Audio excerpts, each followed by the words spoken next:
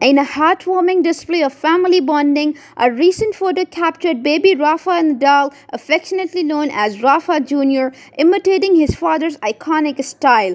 The image shows the legendary tennis champion Rafael Nadal biting his Roland Garros trophy alongside a delightful snapshot of his son holding a miniature tennis racket in his mouth. Rafael Nadal, known for his powerful gameplay and unique on-court habits, has endeared himself to tennis fans worldwide. One of his most recognizable quirks is biting trophies, a charming ritual that seems to have caught to the attention of his young son. Fans and followers of the Nadal family are thrilled by this adorable image. Here are some of their reactions. First the racket, then the trophy. Like father, like son. The kid is so damn cute. What a beautiful baby Nadal. What a future great tennis player. Rafa Jr. is sure to be a champion too.